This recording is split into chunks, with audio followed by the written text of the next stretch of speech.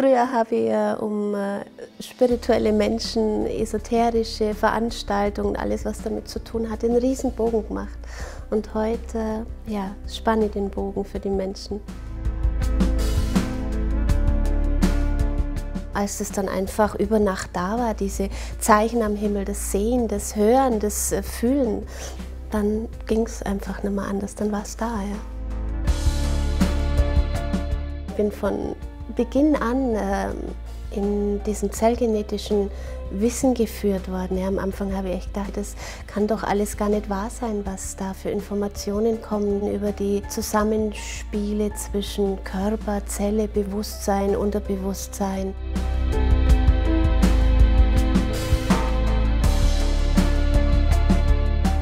Meine Arbeit möchte den Menschen Brücken bauen.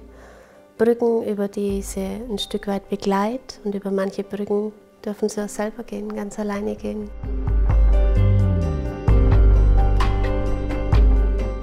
Das Leben kann so schnell an uns vorbeiziehen und äh, ich sehe mir einfach auf dem Platz, die Menschen in ihre Bewusstheit zu führen. Äh, Gerade so in den Paar-Coachings ist das so schön zu sehen, äh, wie sie oft nach so langer Zeit, äh, wo sie aneinander vorbeigelebt haben, wieder zu sich finden.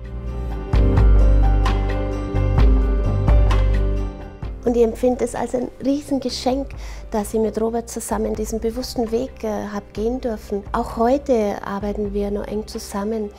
Ähm, Gerade in meinen Coachings äh, schicke ich die Frauen echt total gern zu Robert in die Hypnose, weil ich sehe, wie schnell das dann sich in manchen Dingen verändert und sofort Leichtigkeit einkehrt in schweren Themen, die sie auch haben.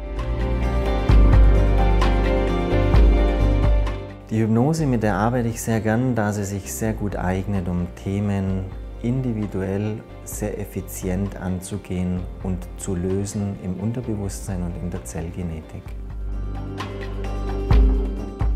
Wenn du es eilig hast, geh langsam. Wenn dich orientieren willst, bleib stehen. Allerwichtigste ist, dass die Menschen ihre Herzen öffnen ihre Herzen für ihr Gefühl, dass sie sich selber wieder anfangen zu fühlen und zu spüren. Denn das ist der erste Schritt, um sich näher zu kommen.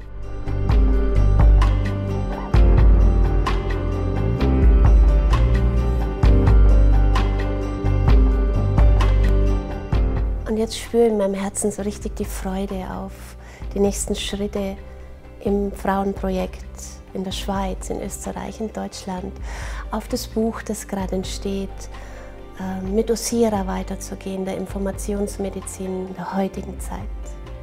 Und das ist mein Weg.